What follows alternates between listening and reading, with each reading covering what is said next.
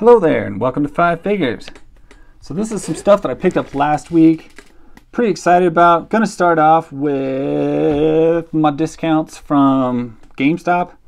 Picked up a Beast Morphers Blue Ranger. Um, actually, a pretty big fan of the Beast Morpher show. As far as Power Ranger series go, I found it not incredibly painful and kind of fun to watch. Normally, I just watch Sentai. Don't have a lot of love for Power Rangers, and that's why I was glad to get this guy on clearance because I didn't love him enough to not like. I didn't want to pay full retail, so picking him up on sale for 13, I thought was definitely a win, and I was very happy with that. Next, I picked up Bayley here. This is just a basic Bayley from I think last year, and it's just a red, uh, red costume variant. Not a lot of difference, but uh, she will look much better when I put her with my uh, Eddie Guerrero themed Sasha Banks. She wears like red pants and her Eddie Guerrero like red outfit. So I mean that'll that'll make them look more tag teamy.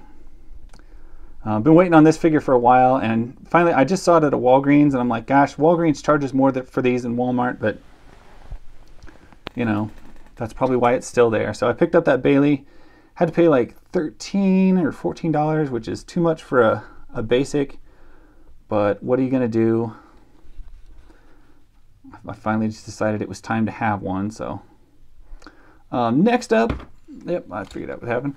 Uh, next up, I picked up uh, Springer here. Springer was very prominently featured in the animated Transformers movie, and I've never had one, never really cared, wasn't that into the character, but uh, they have like a Burkes store here.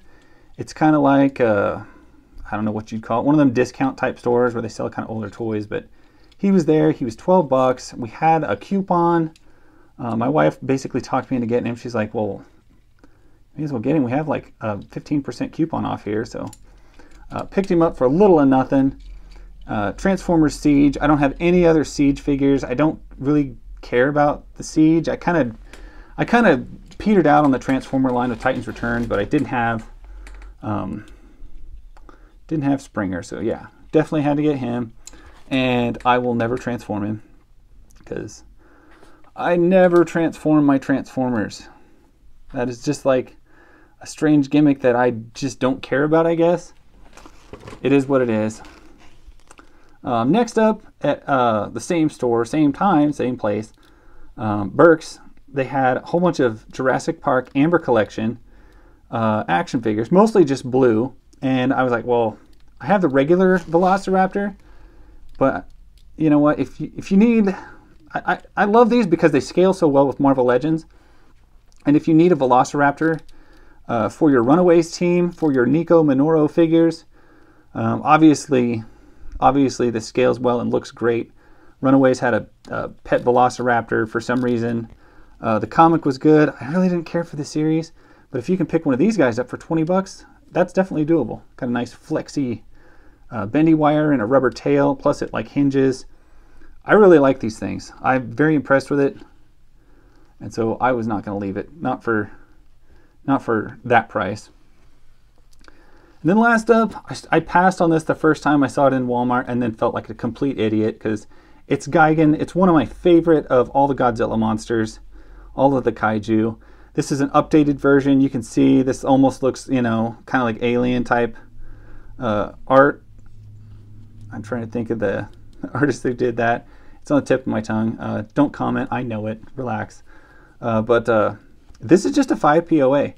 Just rotation at the arms that go up and down, the legs that just kick out and don't really do anything at all. He's kind of pre-posed to stand, and then the tail like rotates right right there. And this is after he's had all of his cybernetic enhancements. Uh, in one of the earlier God film, Godzilla films, he got like shredded and they cut his hands off and he lost part of his tail and I, I, don't know, he had like holes all over him or some shit. And they patched him all up and made him a giant like cyborg uh, monster as if he wasn't a vicious enough bastard before. Uh, he has all these cybernetic enhancements now that make him even more of a vicious, bloody jackass and one of my absolute favorite monsters. And this is why, you know, this was 12 bucks at Walmart. I, if you see one of these, just get it.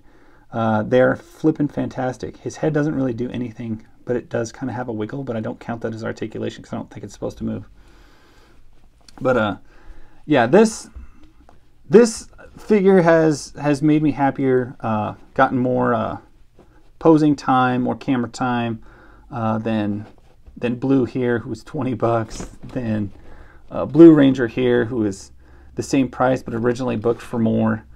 Um, it's just amazing what you can do. You don't have to bit to get like super crazy technical in your designs as long as you have just a damn good figure. And I think that's what sometimes simplicity works. And that's what Gigan reminded me of, and I really like it. And I just wanted to share it. And that is the five figures I picked up last week. Um, I'm going to get on to the five figures I picked up this week. Is It's been a pretty banner week. It's been crazy. Anyway, that's my story. I'll catch you guys later. Bye.